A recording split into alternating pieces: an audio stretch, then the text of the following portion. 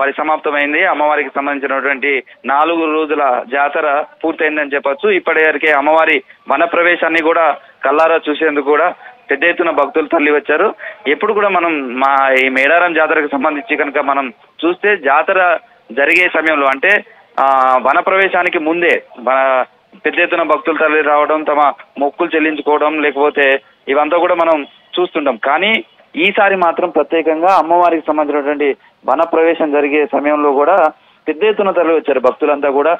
అమ్మవారికి తమ మొక్కులంతా కూడా చెల్లించుకుంటూ కూడా రెండు సంవత్సరాల పాటు మళ్ళీ వచ్చే మహాజాతరకు ఇంతకంటే వైభవంగా చేస్తాం. తమ మొక్కులన్నీ చెల్లించుకుంటాం.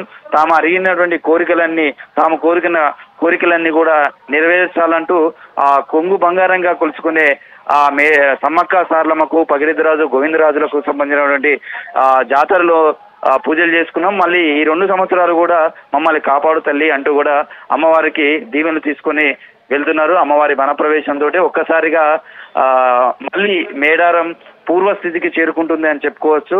ఎందుకంటే దాదాపుగా నెల రోజులుగా చూస్తే మేడార పరిసర ప్రాంతాలంతా కూడా ఎటు చూసినా భక్తులతోటి నిండిపోయింది. ఆ ఇది చాలా కుగ్రామంగా అటవీ ప్రాంతంలో ఉన్నటువంటి ఒక ఏజెన్సీలో ఉన్న ఒక కుగ్రామంగా మేడారం ఉంటుంది. ఆ మామూలు సమయంలో చూస్తే చిన్న ఊరు. కానీ మేడారం మహాజాతరకు సంబంధించి వచ్చినప్పుడు సమ్మక్క సారలమ్మకు సంబంధించినటువంటి మహాజాతర వచ్చే సమయంలో మాత్రం ఇది మొత్తం ఒక మెట్రోపాలిటన్ సిటీగా మారిపోతుంది. ఎటు చూసినా విద్యుత్ దీప కాంతులతో ఉంటుంది. దాదాపు కోట్ల మంది భక్తులు ఇక్కడ వచ్చి అమ్మవారి అని సేవలో తరిస్తారు. అమ్మవారికి మొక్కులు చెల్లించుకుంటారు. అమ్మవారిని తాము అనుకున్నటువంటి కోరికలు నెరవేరాలని కోరుకుంటారు.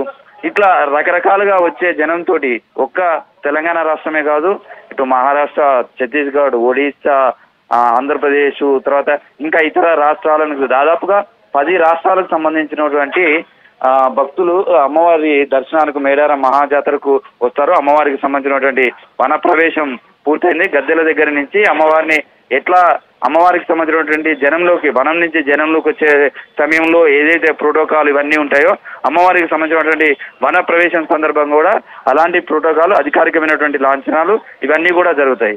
అయితే ఆ అమ్మవారి వన ప్రవేశం జరిగే సమయంలో మాత్రం అమ్మవారిని తీసుకువెళ్ళే సమయంలో కేవలం చిలకలగుట్ట వరకు మాత్రమే అలో చేస్తారు. అక్కడి నుంచి పోలీస్ కాదుగా ఇతర అధికారులు ఎవరిని కూడా లోపలికి అలవ్ చేయరు. అక్కడి నుంచి అమ్మవారికి సంబంధించినటువంటి వన ప్రవేశం జరుగుతుంది.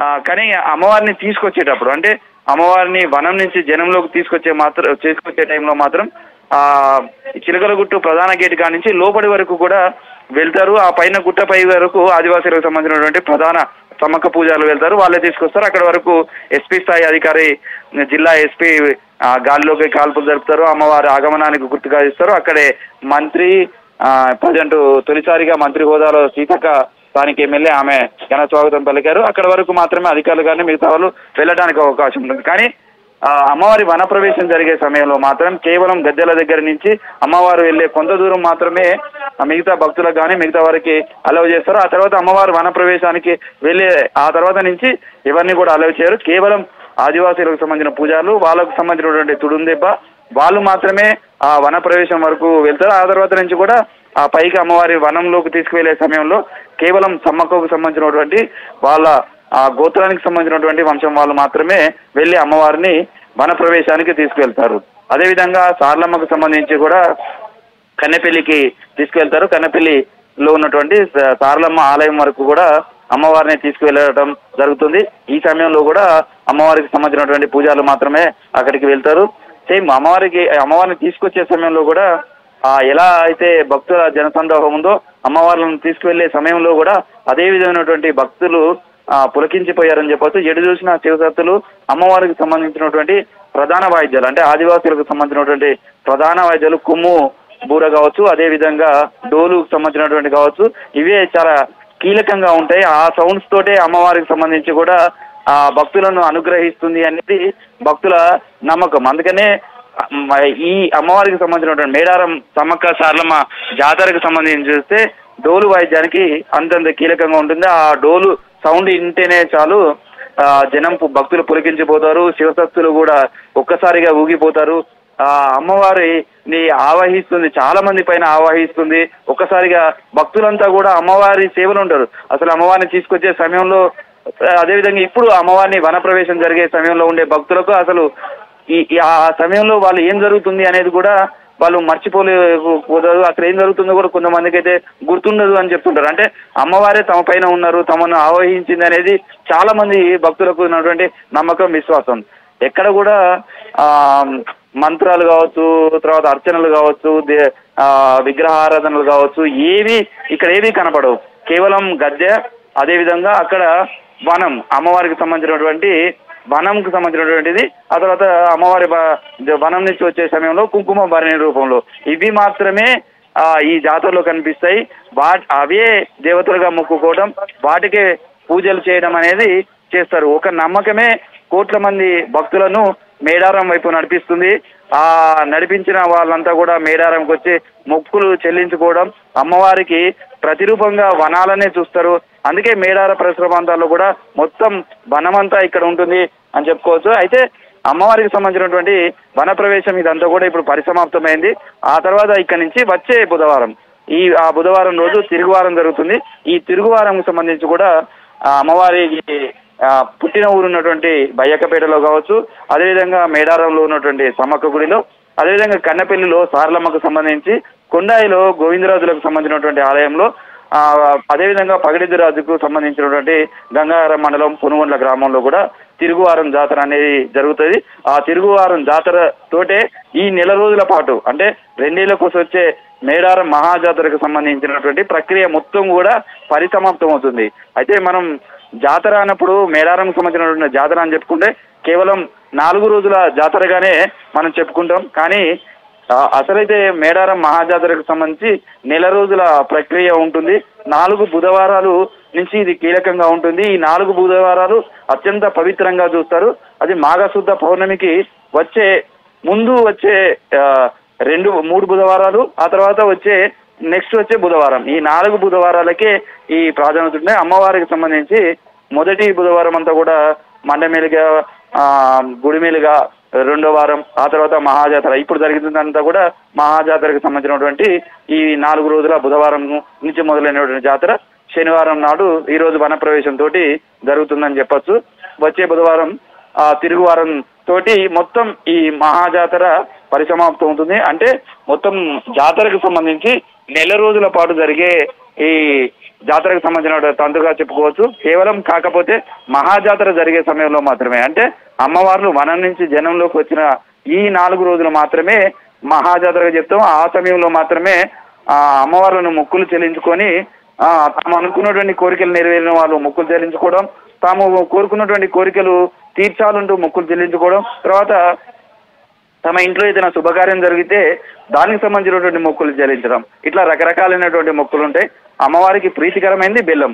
ఆ బెల్లాన్ని అమ్మవారికి ఇవ్వడంతో తాము అనుకున్నటువంటి కోరికలు నెరవేరుతాయి అనేది చెప్తారు. ఎందుకంటే ఏదైనా మనం టెంపుల్కి వెళ్తే కానుకలు వేస్తాం బంగారం ఇస్తారు తర్వాత రకరకాలైనటువంటి దానికి అక్కడ కానుకలు తమ తాహాదుకు తగ్గట్టుగా ఇవ్వడం అనేది జరుగుతుంది. తర్వాత దానికి టికెట్లు కావచ్చు లేకపోతే అర్చనకు టికెట్లు కావచ్చు ఇట్లా రకరకాల ఎన్నో రకాలుగా ఉంటాయి. కానీ ఈ ఈ జాతరలో ఉన్నటువంటి ప్రత్యేకత ఏంటంటే ఎవ్వరు తారతమ్యం అనేది ఎక్కడ కూడా కనిపించదు. మొత్తం ఏదైనా టెంపుల్కి వెళ్తే ఒక కుటుంబంలో ఒకరిద్దరు వెళ్తారు లేదా ఆ టైంను బట్టి వెళ్తారు. కానీ జాతరకు వచ్చినప్పుడు మాత్రం ఖచ్చితంగా కుటుంబంలో ఉన్నటువంటి అప్పుడే పుట్టినటువంటి పసిపిల్ల నుంచి మొదలు పెడితే ఆ ఇంట్లో ఉన్న వృద్ధుల వరకు కూడా ఖచ్చితంగా ఈ నాలుగు రోజులలో ఒకసారైనా జాతరకు వచ్చి కుటుంబ సమేతంగా అమ్మవార్లకు మొక్కులు చెల్లించుకోవడం తమ చల్లగా చూడాలని కోరుకోవడం ఇక్కడే బస చేయడం ఇక్కడే వండుకొని తినడం ఇదంతా కూడా ఖచ్చితంగా ఆ జాతర సమయంలో రావడం ఈ నాలుగు రోజులకే చాలా ప్రాముఖ్యత ఉంటుంది. చాలా ముఖ్యంగా చూస్తారు. ఆ ఆ నాలుగు రోజులకు సంబంధించినటువంటి మహాజాతర ఇప్పుడే అమ్మవారి వనప్రవేశం సమ్మక్క వనప్రవేశం తోటి ఇదంతా కూడా ముగిసిపోయిందని చెప్పొచ్చు. ఇప్పుడు దాదా ఓవైపు అమ్మవారికి సంబంధించినటువంటి వనప్రవేశం జరుగుతుండగానే మరోవైపు భక్తులంతా కూడా తిరుగుముఖం పట్టారు. ఈ నాలుగు రోజుల జాతరలో తమ మొక్కులు చెల్లించుకున్నటువంటి భక్తులంతా కూడా తిరిగి మళ్ళీ ఆ, యథాస్థితికి తమ ఇళ్ళకు వెళ్ళిపోతున్నారు తిరుగు ప్రయాణం అవుతున్నారు దీంతో మేడారం నుంచి నిన్నటి వరకు నిన్నటి వరకు కూడా కాదు ఈ రోజు ఉదయం మధ్యాహ్నం వరకు కూడా అన్ని వాహనాలంతా కూడా అన్ని రూట్లలో మేడారం వైపే అన్నట్టుగా దారులన్నీ మొత్తం ఆ, భక్తుల రాకలతోటి కనిపించాయి. కానీ ఈ ఈ రోజు మాత్రం చూస్తే ఉన్న ఇక్కడ ఉన్న వాళ్ళంతా కూడా భక్తులంతా కూడా తిరుగు ప్రయాణం అవుతున్నటువంటి వాహనాలతోటే మనకు కనిపిస్తుంది. మొత్తం మేడారం పరిసర ప్రాంతాలంతా కూడా గుడారాలు కావచ్చు లేకపోతే ఇక్కడ విడిది చేసి అమ్మవారికి సంబంధించినటువంటి మొక్కులు పూజలు చేసినాయి. ఇవన్నీ వీళ్ళంతా కూడా తిరిగి తిరిగి మళ్ళీ తమ స్వగ్రామాలకు వెళ్ళిపోతున్నారు భక్తులంతా కూడా వెళ్ళిపోతున్నారు. అయితే ఈసారి అధికారులు అధికారుల అంచనాలకు మించి మాత్రమే భక్తులు చాలా మంది వచ్చారని చెప్పొచ్చు. దానికి ప్రధానంగా ఆర్టీసీకి సంబంధించి వాళ్ళకి కావాల్సిన తాత్కాలిక టాయిలెట్స్ కావచ్చు జంపన వాక్ దగ్గర స్నానాలకు ట్యాప్స్ కావచ్చు ఇవన్నీ కూడా అవన్నీ కూడా ఈ ఇప్పుడు కంటిన్యూ అవుతూ ఉంటాయి. బట్ ఇప్పటి వరకు సేవలు అందించినటువంటి డ్యూటీలో విధులు నిర్వహించినటువంటి వాళ్ళంతా కూడా వివిధ శాఖలకు సంబంధించినటువంటి డిపార్ట్మెంట్స్ అంతా కూడా దాదాపు పూర్తిగా ఖాళీ అవుతుంది. కేవలం శానిటేషన్కు సంబంధించినటువంటి సిబ్బందికి సంబంధించింది ఇప్పుడు ఆ, కీలకమైనటువంటి భూమిక పోషించాల్సిన అవసరం ఉంది. మేడారం సంబంధించినటువంటి పరిసర ప్రాంతాలంతా కూడా అమ్మవారి నామస్మరణతోనే అమ్మవారిని తిరుగు ప్రయాణం ఆ, వన ప్రవేశంతో మొత్తం జాతర కోసం అందరూ కూడా తిరిగి వెళ్తున్నారు. అమ్మవారికి తలుచుకుంటూ ఈ నాలుగు రోజుల పాటు అమ్మవారికి సంబంధించినటువంటి జాతరలో ఎలా అమ్మవారిని దర్శనం చేసుకున్నాం గదెల దగ్గర ఎలా మొక్కలు చేసుకో ఇవే వాళ్ళ జ్ఞాపకాలుగా చెప్పుకుంటూ ఉంటారు. ఆ మేడారం జాతరలో ఇది ఇదే ఎందుకంటే ఇంత బిజీ లైఫ్లో కుటుంబ సభ్యులంతా ఒకచోటి ఉండి కలుసుకోవడం అనేది చాలా కష్టంగా ఉంటుంది. కానీ మేడారం జాతరలో మాత్రమే ఎక్కడెక్కడో ఉన్న వాళ్ళంతా కూడా కావచ్చు ఆ తమ కుటుంబ సభ్యులంతా ఒక చోటుకు వస్తారు ఒకే అడవి ప్రాంతంలో ఇక్కడే వస్తారు. ఇక్కడనే కుటుంబం అంతా కలిసి ఉండడం విందు చేసుకోవడం కావచ్చు మంచి చెడులు మాట్లాడుకోవడం తర్వాత ఎక్కడెక్కడో దూరం అయిపోయిన వాళ్ళంతా కూడా ఈ జాతరలోనే వాళ్ళు కలుస్తారు. మళ్ళీ వాళ్ళ అనుబంధాలను గుర్తు చేసుకోవడం ఇవంతా కూడా ఈ మే మేడారం జాతర మాత్రం అందరికీ ఒక జ్ఞాపకంగా ప్రతి రెండేళ్ళకు ఒకసారి అందిస్తూ ఉంటుంది. అందుకే ఎక్కడున్నా సరే మేడారంకు ఖచ్చితంగా వస్తారు. తమ మొక్కులు చెల్లించుకుంటారు. మేడారంలో మళ్ళీ రెండేళ్ళ కోసం ఎదురు చూస్తారు. ఇదంతా కూడా రెగ్యులర్గా రెండేళ్ళకు ఒకసారి జరిగే అంశంగానే మనం చెప్పొచ్చు ప్రజెంట్ అయితే మేడారంలో అమ్మవార్లకు సంబంధించినటువంటి వన ప్రవేశం జరిగింది. ఇక పగిడిద్దరాజుకు సంబంధించి మాత్రం ఎనభై కిలోమీటర్లో ఉన్న దూరంలో ఉన్నటువంటి ఆ, పునుగొండ్ల గ్రామానికి ఆదివాసులకు సంబంధించినటువంటి పూజారులు నడక మార్గంలోనే వెళ్తారు. అటవీ ప్రాంతం నుంచే ఆ, కేవలం చంద్రుడి కాంతితోనే వాళ్ళ ఆధారంగానే వాళ్ళంతా కూడా తమ ప్రయాణం కొనసాగిస్తారు. అటవీ ప్రాంతం నుంచే పొనుగండ్ల వరకు కూడా ఆ, పగిడిద్దరాజుకు సంబంధించినటువంటి దేవుని ఆలయానికి తీసుకెళ్తారు. దాదాపు ఎనభై కిలోమీటర్ల మేర ఉంటుంది. అప్పటి వరకు అక్కడి వరకు కూడా వీళ్ళు నడుచుకుంటూనే అత్యంత పవిత్రంగా ఆ, వెళ్ళటం అనేది జరుగుతుంది. అదేవిధంగా గోవిందరాజులకు సంబంధించి కుండాయికి తీసుకువెళ్తారు దానికి సంబంధించినటువంటి పూజలు కూడా ఇక్కడి నుంచి నడక మార్గంగా వాళ్ళు కూడా బయలుదేరారు. ఇప్పటికే కన్నపెల్లికి సారలమ్మ జరుగుతుంది. అదేవిధంగా ఆ సమ్మకు సంబంధించి చిలకలగట్టు దగ్గర వన ప్రవేశం కూడా పూర్తయింది. దీంతో మేడారం సంబంధించినటువంటి మహాజాతరకు సంబంధించినటువంటి ఒక ఘట్టం ముగిసిందని చెప్పుకోవచ్చు. వచ్చే బుధవారం తిరుగువారం సంబంధించినటువంటి మళ్ళీ జరుగుతుంది సూర్య.